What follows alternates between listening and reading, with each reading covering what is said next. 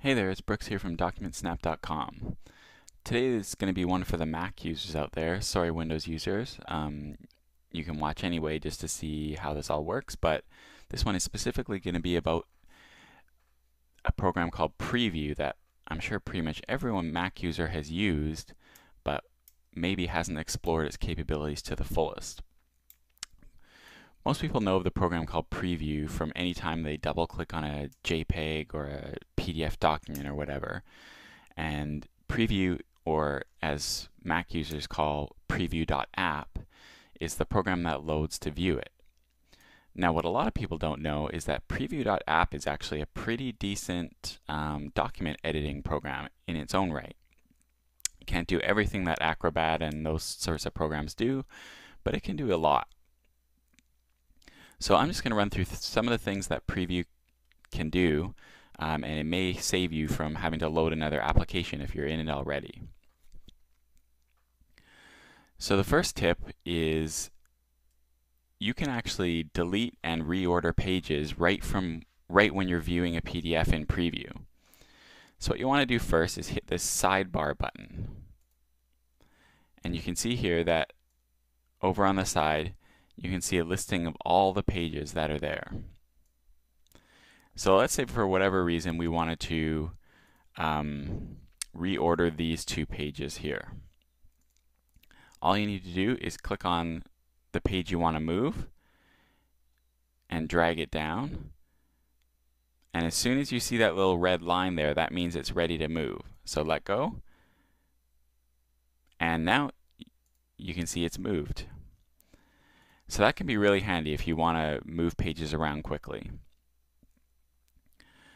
The second thing is you can delete a page. page. This is pretty handy. This, if you're using a ScanSnap, for example, it's very good at removing blank pages. But sometimes if there's something on the page, it won't remove it. So let's say we wanted to get rid of this title page here. You just need to go up to Edit, and delete selected page and it's gone. And there you go. Now I'm sure there's a reason why you'd want to do this. I can't think of why, but if you want, you can insert a blank page too. So go to where you want the page to go, go edit, and insert blank page, and you can see now right above the page that we had selected, there's a blank page. And I'm gonna, just going to go delete that right now. There's also some uh, functions for when you're viewing a PDF to make it look easier.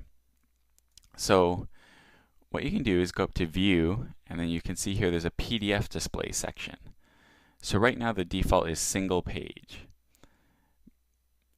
And you can see here that you know you have to move down or go page down to go to the next page. But if we want to see the, the page just before and after it too, go View, PDF Display, display and Single Page Continuous. And now you can see you can see the other pages as you're viewing this page. Now another op option is called two pages. And as you can probably guess, I'm just going to make this zoom to fit it lets you see two pages side by side. And similar to that, if you go View, PDF Display, Two Pages Continuous, it basically lets you see four pages at once.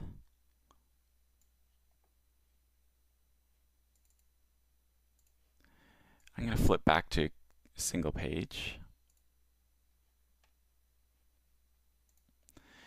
So let's say you have a document that you want to read on screen and you want to concentrate on it, you can actually put it into full screen mode.